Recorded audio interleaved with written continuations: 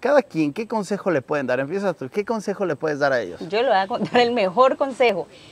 Cuando Adrián me dijo, estábamos viendo un domingo, me enseñó a ver tu programa, que eran clases gratuitas, la verdad yo lo vi como que estaba mirando y no le puse mucho cuidado, pero después dijiste algo importante que decía, quieres ser, quieres quieres ser tu, ¿cómo era que decía esa frase? Quieres que tu negocio Quieres que tu negocio funcione sin ti, fue lo que me llamó la atención, dejé lo que estaba haciendo, observé la pantalla, entonces él me dijo, miremos esto que es importante. Ya después tomamos la decisión si, si ingresamos o no.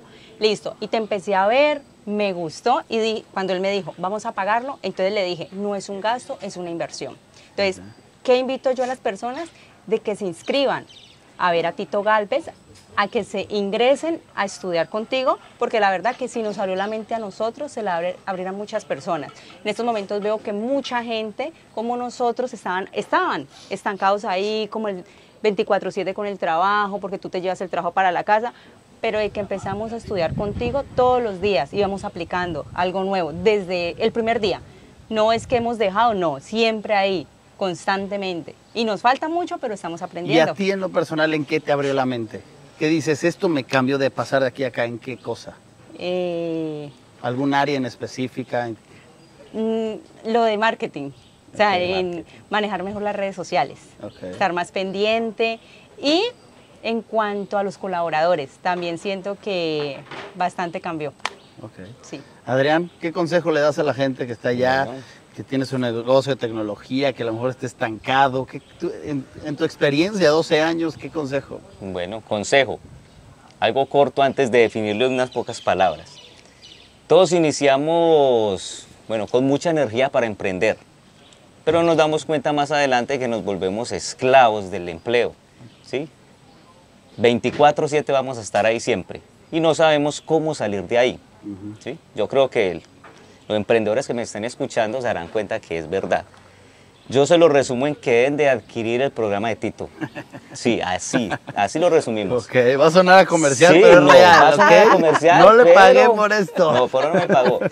Pero lo resumo en eso, Tito Galvez, Business Freedom llevaba mucho tiempo buscando algo así.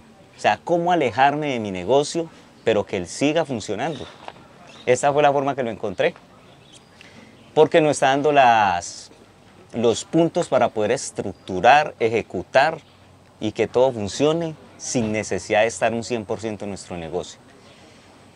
Y lo que resalto de ahí es que nos hace ver de que crear un equipo de trabajo es como el punto principal para que un negocio pues crezca y se mantenga.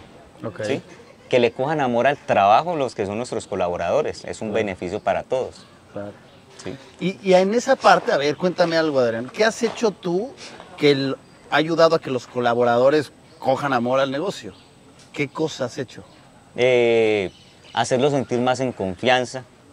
¿sí? Un ejemplo, Mm, ofreciéndoles beneficios, eh, ofreciéndole un ejemplo, de pronto permisos, que antes no lo hacía uno. Llegaban, un ejemplo, a laborar de 8 de la mañana a 7 de la noche, una hora de almuerzo y ya no podían hacer otra cosa. Ya empezamos a tener presente que un equipo, pues hay que motivarlo. Y darles como unos otros espacios aparte de su trabajo para, que, para que realicen.